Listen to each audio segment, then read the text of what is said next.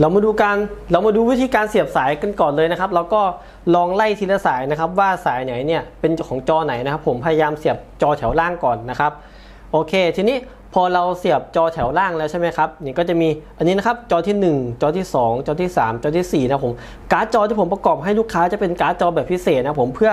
การต่อหลายหน้าจอโดยเฉพาะโดยใช้พอร์ต HDMI ล้วนเลยนะครับนี่โดยที่เราไม่ต้องไปวุ่นวายกับการใช้หัวแปลงนะครับ ส่วนคอมเครื่องนี้นะครับสามารถ ต่อได้สูงสุดณตอนนี้นะครับที่ผมประกอบให้ลูกค้าจะได้สูงสุด 7 หน้าจอนะครับ สามารถอัปเกรดการ์ดจอเข้าไปอีกได้อีก 2 การ์ดนะครับเท่ากับว่าเครื่องเนี่ยจะสามารถต่อได้สูงสุดถึง 414 42 82 414 42 414 42 32 34 สามารถต่อได้สูงสุดถึง 15 หน้าจอเลยนะครับ โอเค เดี๋ยวที่นี้ผมจะพามาดูวิธีการตั้งค่ากันเลยครับ ให้เราคลิกขวานะครับ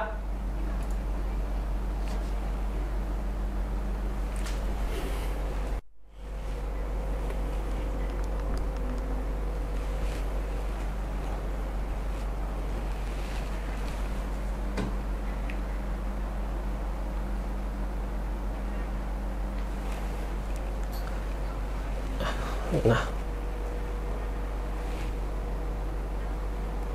ตอน ตอนนี้นะครับ ตอนนี้นะครับผมได้เสียบทั้งหมด 6 หน้าจอแล้วนะครับเดี๋ยวผมจะให้ดูวิธี เดี๋ยว ตอนนี้นะครับผมเสียบตอนนี้นะครับผมได้เปิดทั้งหมด 6 หน้าจอแล้วนะครับ ตอนเนี้ยเมาส์มันอยู่ที่จอบนนะครับ วิธีสังเกตง่ายๆนะครับเวลาคุมเมาส์ง่ายให้เราค่อยๆ ขยับเมาส์แล้วก็ลองสังเกตดูนะครับ ผมว่าเมาส์เนี่ยมันไปที่หน้าจอไหนนะครับ อันนี้จะสังเกตเห็นได้ว่ามันจะเลื่อนไปทางขวา จะเลื่อนไปทางซ้ายนะครับอะผมจะลองเลื่อนไปเรื่อยๆนะมันจะไปโผล่จอไหนปุ๊บอะเห็นไหมครับ พอเมาส์ จากจอนี้นะครับ พอเลื่อนไปตกตรงนู้นปุ๊บดูนะครับ มันจะมาโผล่จอนี้ทันทีเลย ซึ่งปกติแล้วอะมันควรจะมาโผล่จอนี้มากกว่าใช่ไหมครับโอเค พอเราเจอเมาส์อยู่ข้างล่างแล้ว ทีนี้เราก็จะควบคุมเมาส์ง่ายแล้วนะครับ ทีนี้ให้เราคลิกขวานะครับ เลือก setting อ่าทีนี้มันโดดไปมันโดดไปจอนู้นเลยนะครับ แล้วก็อะขยับเมาส์อีกลองดันซ้ายดูสิอะพอดันซ้ายมันกลับไปขึ้นจอบนนะครับ ก็คืออะเราก็ดันไปเรื่อยๆนะครับ ดันไปจนกว่า เมาส์ของเราเนี่ยมันจะไปโผล่จอนี้นะครับ อย่าดันมั่วนะครับ ดันแบบเป็นเส้นตรงไปเรื่อยๆนะครับ ไม่งั้นเราจะหาเมาส์ไม่เจอ โอเคเดี๋ยวผมขอดันไปเรื่อยก่อนว่ามันจะมาโผล่ที่ไหนนะครับปึ๊บปึ๊บอะนี่ครับ ก็คือผม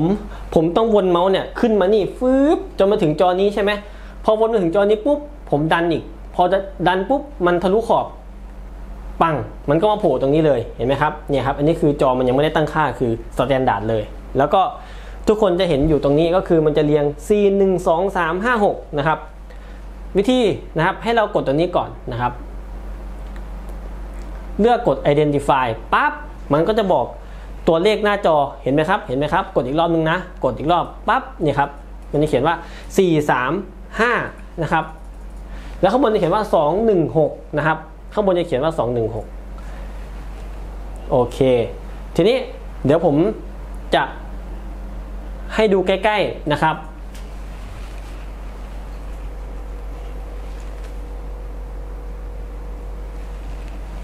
นี่ เห็นไหมตอนเนี้ยหน้าจอมันเรียงแบบนี้ซึ่งมันเรียงเรียงมั่วกันมากเลยนะครับ ให้เรา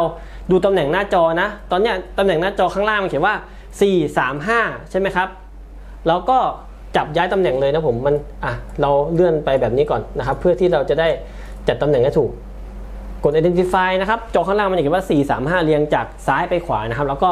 เรียงนะครับ 4 อยู่ฝั่งซ้ายใช่ไหมจอกลางคือหมายเลข 3 จอฝั่งขวาสุดมันเป็นหมายเลข 5 ใช่ปะอะแล้วก็เลื่อนมาปุ๊บอ่าทีเนี้ย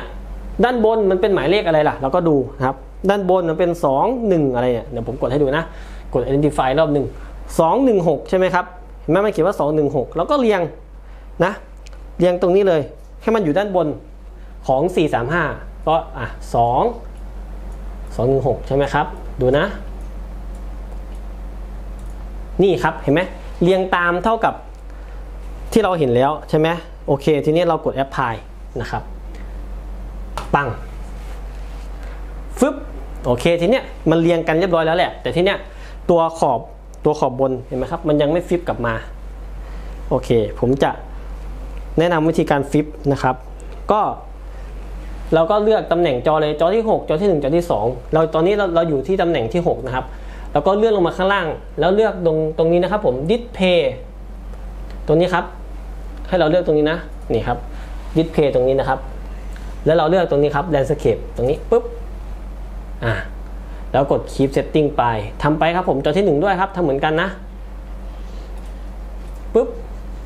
อ่ากด keep เดี๋ยวผมจะให้ดูผลลัพธ์นะครับ เดี๋ยวผมมาทำให้มันเสร็จก่อน โอเคอ่ากด keep ปุ๊บอ่าครับผมดูผลลัพธ์นะตอนนี้ นี่ครับผลลัพธ์เป็นไงครับ ตอนนี้หน้าจอฟิปเหมือนกันแล้วทุกจอนะครับ ทีนี้ผมจะลองขยับโปรแกรมให้ทุกคนได้ดูกัน ขยับนะดูครับ โดยการคลิกเมาส์แช่ไว้ผมคลิกเมาส์แช่ไว้ตรงขอบนะครับอันนี้สำหรับใครที่ยังไม่เคยใช้หลายๆหน้าจอนะครับ มาดูกันดูนะกดแช่แล้วก็ ถ้าเราดันขึ้นไปเบาๆเนี่ยมันจะเป็นการขยายหน้าต่างโปรแกรมนะครับ มันจะเป็นแบบนี้ แต่ถ้าเราแบบแบบดันขึ้นไปนิดนึงอะแรงนิดนึงปุ๊บเห็นไหมมันก็จะแบบทะลุไปเลยฟึ่มอย่างนี้เลยครับฟึ่มแบบนี้เลยเห็นไหมครับนี่อ่าเห็นไหมเดี๋ยวผมจะลองปาดขวาไปเลยนะครับฟื้นเห็นไหมครับ มันสามารถ ขยับไปได้ทั้ง 6 หน้าจอเลยครับผมดันไปแรงๆนะถ้าเราเราดันเบาๆมันจะเป็นการขยายหน้าจอเห็นไหมครับ นี่เห็นไหมสามารถคุมได้ทั้ง 6 หน้าจอเลยนะครับนี่ครับ ถ้าเราดันเบามันจะเป็นการขยายโปรแกรมนะครับเนี่ยถ้าผมไม่ดันมันออกไปดังปึ้งอะมันจะเป็นการขยายโปรแกรมอะผมปล่อยเมาส์นะเห็นปะครับมันจะเป็นการดันแบบนี้นะครับ มันจะเป็นการดันเต็มหน้าจอ เราต้องดันไปแรงๆ ปั้งแบบนี้นะครับ ปึ้งปึ้งแบบนี้ นะโอเคทีนี้ถ้าทุกคนที่ดูอยู่ตอนนี้นะครับ อยากให้จอสมมุตินะ อยากให้จอซ้ายเป็นจอหลักนะครับ วิธีแล้วก็ทำไม่ยากครับ เราก็กด identify จอซ้ายคือจอหมายเลขที่ 4 ใช่ไหมครับทุกคนแล้วก็กดหมายเลข4แล้วทีเนี้ยเราก็กดตรงนี้ครับผม make this my main display พวกไอคอนต่างๆ มันจะไปอยู่ฝั่งซ้ายดูนะครับ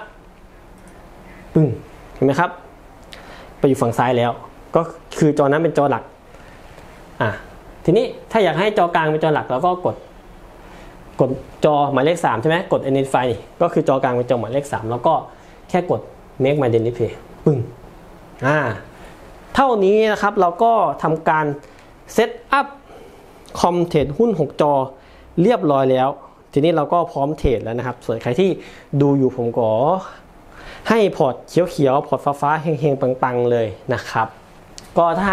ชื่นชอบคลิปนี้นะครับ ก็ผมก็ฝากกดไลค์กดแชร์กดติดตาม เป็นกำลังใจให้ผมด้วยนะครับ หรือว่ากดปุ่มกระดิ่งก็ได้เช่นกันนะผมเพื่อที่จะไม่พลาดเทคนิคหรือว่าสเปคคอมดีๆแบบนี้นะส่วนใครที่ดูอยู่นะครับผมอยากสั่งคอมเทรดหุ้นว่าจะเป็น 2 จอ 3 จอ 4 จอ 5 จอ หรือมากกว่า 6 จอเนี่ยก็สามารถทักมาสอบถามได้เช่นกันนะครับผมส่วนส่วนคลิปต่อไปผมก็จะมาแนะนำเทคนิคการเปิดสตรีมหลายหน้าจอนะครับผมเปิดดูกราฟหลายหน้าจอ ต้องเปิดยังไง เดี๋ยวเราติดตามกันคลิปต่อไปเลยนะครับ